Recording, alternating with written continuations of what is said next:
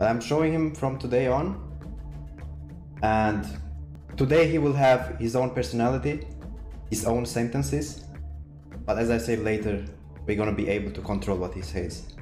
And maybe do a little bit of jokes with him.